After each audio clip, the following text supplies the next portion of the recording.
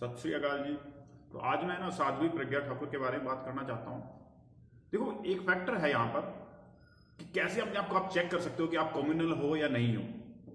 कि आप एक कट्टरवादी हो या मतलब कि एक आप कट्टर जैसे साधु प्रज्ञा ठाकुर को जैसे नाम लिया गया कि वो एमपी कैंडिडेट के लिए लड़ेगी तो मेरे बहुत सारे पढ़े लिखे दोस्त जो अच्छे मतलब उनको मैं बहुत दूर से जानता हूँ। वो उसको सपोर्ट करने लगे, नहीं नहीं, उसके साथ नाइंसाफी हुई है, ये हुई है, वो हुई है। चलो ठीक है, आपकी बात मानता हूँ, नाइंसाफी हुई होगी। झूठा केस भी हो सकता है। अभी कोर्ट ने कुछ डिक्लेयर नहीं किया, वो अक्यूज है। फ़र्स्ट थिंग वो अक्यूज है। और सेकंड थिंग कि यार उसने अच्छा काम क्या किया, ये तो बताओ कि उसको आप उसको सपोर्ट कर रहे हो, किस अच्छे काम के लिए सपोर्ट कर रहे हो? हमने तो कुछ सुना नहीं कि उसने ये बड़ा काम किया, उसने ये मंदिर बनवाए हो, या सड़कें बनवाई हो, या समाज सेवा करी हो। नहीं, ये बात कुछ हो रहा है, वो अपना आपका दिमाग आपसे गेम खेल रहा है। कि आप उसको सपोर्ट कर रहे हो क्योंकि उसने कुछ किया है अंदर। वो आपके दिल बोलता है, दिमाग बोलता है कि अंदर से कुछ किया है, वो कट्टर है, कुछ तो ऐसा है जो कि आपका दिमाग आपको पागल बना रहा है। और क्या है कि नहीं नहीं, इसका सही है, हमें कुछ चाहिए। कुछ आपके अंदर का डर है जो उसको सपोर्ट कर रहा है। उसने अच्छा काम तो कुछ किया नहीं मेरे ख्याल से अभी तक, कोई बड़ा हमने तो सुना नहीं। ठीक है, वो क्यूज में गई है जिसके लिए आप उसको मना कर रहे हो कि नहीं नहीं, उसने बम नहीं फोड़ा। और आप दिल से मानते हो कि उसने बम फोड़ा है और उसने काम किया, कल हमारी रक्षा यही करेगी। आप चाहते हो कि आपके धर्म का या आपके उसका या उसका जो सेफ्टी होती है ना इनसिक्योरिटी होती है, वो बोल रही है जो कि आप उसको सपोर्ट करा रही है। वो सच में नहीं है, आपको नहीं पता क्या काम करती है, वो नहीं करती। वो आपके अंदर का जो कॉम्युनल बैठा है ना, जिसको आप नहीं जानते, वो आगे बोल रहा है यार तो डर भी किस बात का? किस चीज़ का डर? यार, उन्होंने बोल बोल के, बोल बोल कि हिंदू खतरे में, हिंदू खतरे में। अस्सी परसेंट पॉपुलेशन जिस देश की अस्सी परसेंट पॉपुलेशन हिंदू है, वो खतरे में कैसे हो सकते हैं यार?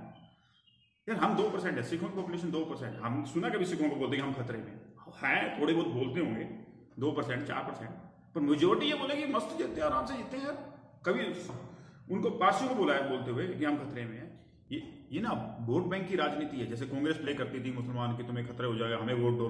तो उनका कंसोलिडेट वोट उनको जाता उनको कभी तरक्की नहीं करने दिया उन्होंने। डरा के एक तरीके से उनका पावर छीन तो बीजेपी ने इससे बड़ा गेम खेल दिया। कि उन्होंने कहता है कि वो पंद्रह परसेंट ही है, हम अस्सी परसेंट नाइन्टी परसेंट को डराते हैं और उनको अपना वोट लेते हैं। तो और क्या, ये सारा दिन प्रोपोगेंडा न्यूज़ में मीडिया में, सारी जगह डाल डाल के, डाल डाल के, एक बार बिलीव करा दिया आपके अनकॉन्शियस माइंड में दिखा दिया कि झूठी क्लिप डाल दी, कुछ सच्ची भी थी कुछ झूठी भी थी एक आपके अनकॉन्शियस माइंड में डाल दिया कि खतरे में है भाई। तो जब भी ज़रूरत पड़ेगी तो बीजेपी तरफ़ ये जाना पड़ेगा। तो ये, इनके पास अच्छे अच्छे डॉक्टर हैं दिमाग की साइकोलॉजी समझते हैं इंडिया का डेटा है, कितने लोग कम्युनल हैं, कितने नहीं है। तो वो करके सारा गेम खेला हुआ और कुछ नहीं है यहाँ पर। खतरे में क्या होता है? अस्सी परसेंट एक तरफ़ से सौ आदमी आ रहे हैं, एक तरफ़ से पंद्रह आदमी आ रहे हैं तो क्या, कौन जीतेगा? अस्सी जीतेंगे पंद्रह जीतेंगे? मतलब ये इतना क्या होता है यार? सिर्फ़ एक वोट की बैंक की राजनीति है, कल ये सबसे ज़्यादा खतरा इसको हिंदुओं को ही होगा। जैसे 1984 के बाद ये गेम खेला गया, ये गेम खेला अकालियों ने। अकालियों ने क्या किया? सिख खतरे में उन्होंने पंजाब में अच्छा खासा खेला। तो लोगों का वोट भी लिया, ये भी लिया, कुछ लोग थे जो डर के वोट डालते थे, कुछ फिर भी ओपन चलते थे, अच्छे खासे चलते थे। तो उसके बाद पंजाब में क्या हुआ? अस्सी से चौरासी से पहले सुना होगा ग्रीन रेवोल्यूशन आया, ये तरक्की हुई है नंबर वन है, इतना बड़ा एक्सपोर्टर है, ये है, दूध की नदियाँ बहती हैं। अब क्या होता है वहाँ? ड्रग्स की खबरें आती हैं। सारा ध्यान तो डॉल में से हटा के वोट जब फ्री में मिलने लगे कम्युनल के नाम पे मिलने लगे, अब कहाँ बीजेपी विकास की बात करती है? नहीं करती ना। सुना है विकास का नाम? सुना स्मार्ट सिटी का नाम? नहीं सुनता। क्योंकि पता धर्म के नाम पे वोट मिलते क्यों डालना है? लोगों को बेवकूफ़ बनाना है चार बात दिखानी है, जय श्री राम नहीं बोलने देती मायावत। अरे तू प्रधानमंत्री देश का तेरे को जय श्री राम कौन रोक सकता है भाई? सिर्फ़ ये लोगों का करने के लिए, ये लोगों का बेवकूफ़ बनाने के लिए और तरक्की कर कल देश तरक्की नहीं करता तो इसमें अस्सी परसेंट हिंदुओं का भी नुकसान। बाकी तो होगा ही।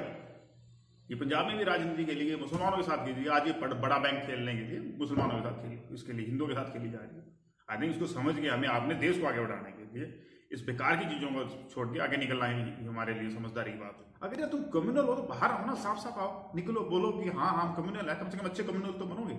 अच्छे कट्टर तो बनोगे। चेहरा उसका छुपाया हुआ है। चेहरा उसका शरीफों का, ईमानदारों का, बढ़िया लोगों का लगाया हुआ है और अंदर से गंद भरा हुआ है। अरे, निकल के अच्छे कम्युनल तो बनो क्या अच्छे, वो भी अच्छा लगेगा यार। हो तो हो। जो अच्छी चीज़ है वो जीतेगी यार। समाज में तो ये होता है, जो अच्छा चीज़ है जीतेगी। सामने आओ। बात करो सामने आके भी, ठीक है, हम तो कम्युनल हम तो यही रहेंगे। बढ़िया, सबसे कम से कम क्यों बेकार का पर्दा डाला हुआ है? क्यों ये ढोंग रचे हुए कोई फ़ायदा नहीं है उसमें। ना अच्छे कम्युनल बन पाओगे, ना अच्छे ढंग के आदमी बन पाओगे। कुछ भी चूज़ करो चूज़ करो। तभी आगे निकलता है। तो दिल के अपने दर्द को छोड़ो और सामने आओ। कम्युनल है तो कम्युनल बन के ये मतलब कि जो हमें लिबरल भी रहना है, हमें ओपन भी रहना है, हमें वुमेन्स राइट्स भी देनी है, हम ये भी करना है। कहीं के नहीं रह पाओ कम्युनल सामने आओ, बोलो हाँ करते हैं अभी, हम इसलिए करते हैं बम फोड़ा है, कल हमारी सुरक्षा करेगी साफ़ साफ़ बात हमें दो ना। अच्छा जी।